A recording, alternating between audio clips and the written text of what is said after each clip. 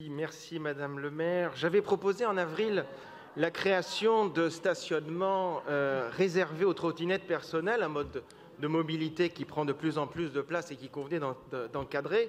Ce vœu avait euh, malheureusement et étrangement été rejeté par la majorité. J'espère qu'il en ira différemment aujourd'hui concernant les scooters partagés.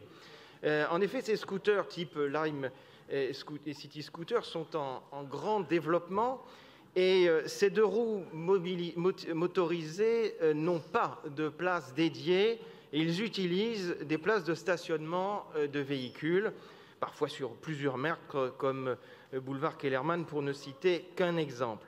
Or, dans le même temps, les places de stationnement, et on vient de l'entendre depuis une heure et demie, pour les voitures sont de plus en plus réduites. C'est donc l'anarchie et l'engorgement. Ajoutons que les résidents qui n'ont pas de place de parking rencontrent des difficultés à garer leurs véhicules dans leur quartier. Je sais que votre politique consiste à dégoûter les automobilistes, mais la conséquence pour nos habitants qui ont encore besoin d'une voiture, et il y en a, est qu'ils tournent de longues minutes pour trouver une place, ce qui pollue.